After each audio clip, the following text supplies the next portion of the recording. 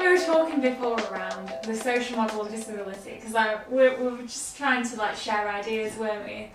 Um, and I said to you that uh, the basic idea is people are more disabled by the environment and society's attitudes than the impairment itself. And and you said that you found that quite interesting Yeah. as a concept. So we're made disabled by our environment, like you say. So, I mean, I'm fine when I'm on a flat surface, but if there's stairs involved, Yeah. then it's a whole different ballgame, and that's not my fault. Yeah. Because someone Yeah. decided to put stairs in, that's their, that's their fault. Yeah. So places should be accessible and to make everyone's life easier. Yeah. I mean, I don't get stairs at all. Why would you not have some of those flat? Surely, if you're able-bodied, stairs are a bit harder. Yeah. Are they not? Yeah. Yeah. You've got to climb stairs. I prefer slopes. I would prefer slopes, yeah. And I think I saw that article that you sent me around that girl that had gone to university and she was humiliated because she was asked to sit right at the back. Just she wasn't anywhere near anyone and she was just on her own in a chair and I just felt like that was such a powerful image of how isolating and different it could make people feel. Yeah, definitely. And I've come across so many sort of places that, that say they're accessible, but they're not. I've been to a restaurant recently that had stairs into it, and then they said they they were uh, accessible because they had a down they had a disabled toilet, which Yeah. was then downstairs Yeah, in the basement that's terrible. with no lift. Gosh. Yeah. So it, that's worse, isn't it, in a way, isn't it? Yeah. Because it's like you're then stuck and Yeah. and that's it. I, I just think that's horrible that people would feel embarrassed and it should just be sorted, shouldn't it really? Um, but that's I mean there's a lot going on now, isn't there? People are taking it more seriously, getting the actual environment better, would you say, or am I being naive? I think it's definitely changed from when I was growing up. Yeah, Um, but we're still a long way off. yeah, I think we just need to enforce it more now. yeah, Because there are laws that say everywhere has to be accessible. yeah, But there are loopholes with those laws. yeah, So some buildings, if they're a certain age, don't have to abide by it. yeah. Which I think's rubbish, actually. Could, I'm yeah. fed up with that. Because, We're fed up of it. yeah, there we go. Sort it out. yeah, yeah. Sick of it, as Carl Pretty much. Wilkinson would say. what I wanted to talk about next yeah, was sort of um, so the social model of disability. We've covered environment. Yeah. Now it's around the stigma of, uh, that society has around disability. okay, Um, and what it says is that the impairment itself, you know you have that, Yeah. but it's society's views that also affects you. So have you got any examples of where you felt like people have treated you in a certain way or maybe had an expectation of I think a lot of the time when it comes to disability, there's no expectation. right So there's no expectation that disabled people can achieve anything. So throughout my education, I was always, I'm not the smartest guy in the world, but I'm not the stupidest either. yeah But I was always said, you know, it would be okay if Myles was just to come in. That was it. That was my, that's what people were expecting of me. They would just make it in school each day. mm. Which, when you put that such low expectation yeah on a kid, yeah. They're going to meet that yeah that's true. Yeah. And I got away with a lot yeah. because there was no, nobody thought I could achieve anything. Um, just because I was disabled, which is actually really sad.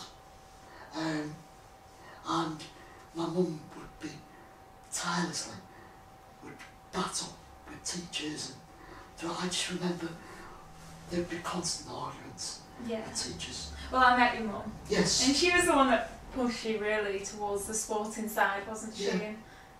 Yeah, I mean, my folks were very kind of in the mindset that I could do whatever I wanted. Yeah. Um, they just wanted me to be uh, happy, but also be able to be independent as well without them. So that's, that was their whole kind of mantra.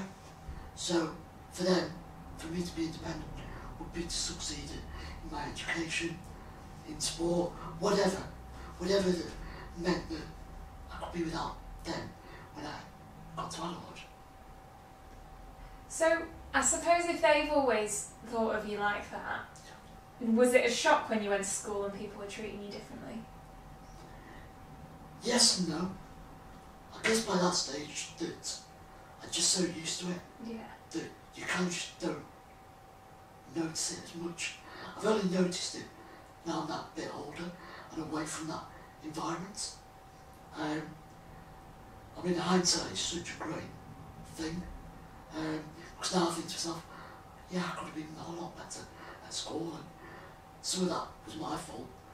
But when you put a, a kid in a situation where they're allowed to get away with stuff, they're not going to behave. And I'm those kids. Yeah. I still yeah. And I think there's another thing. I, I mean, we've been friends for a long time, and it's not a central part the fact that you have a disability. It's just like we're, we're talking about it in depth now for this, but it doesn't define who you are. And I think some people just see that, don't they? Yeah. And, and then people get awkward around Yeah, people. And it's and how do you think you can combat that? Because I think there's a lot around what can you say, what can't you say. People would suggest maybe. I think, I think asking Yeah. the question about disability, like, don't just go up to someone and say, what's wrong with you?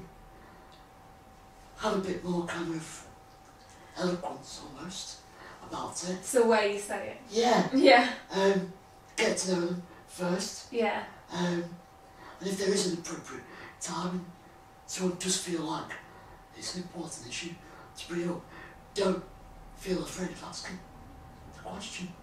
Why is that person in a wheelchair or why does that person look the way they look? Yeah. You know?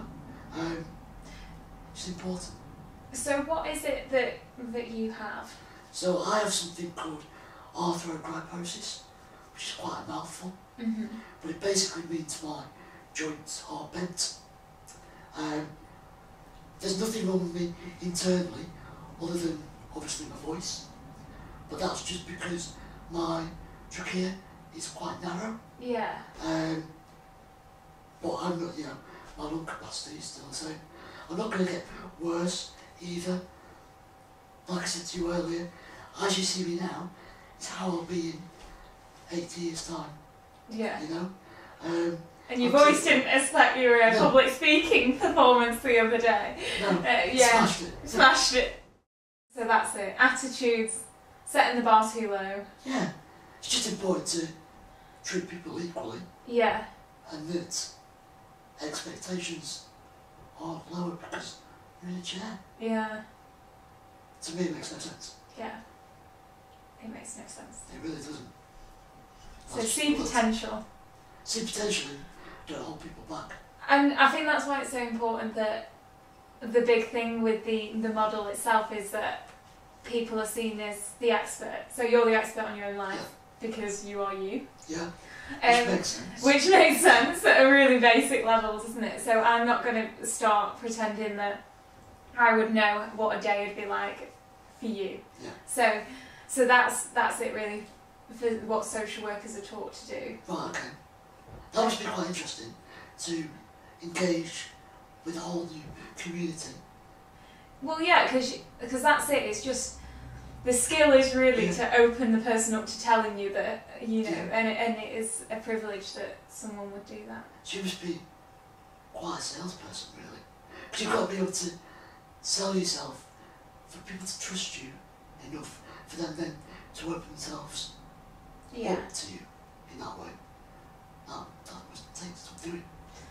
I, I just find that everyone has their own story, and it's just showing that you're actually interested in their story first, Yeah, and then just asking open questions and not rushing too much with that bit. that's cool. Yeah.